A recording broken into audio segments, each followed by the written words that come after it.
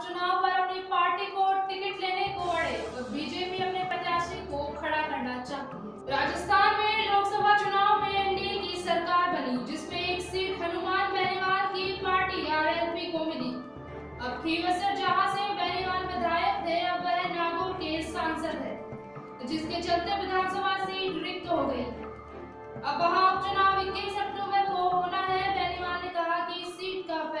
जनता करेगी।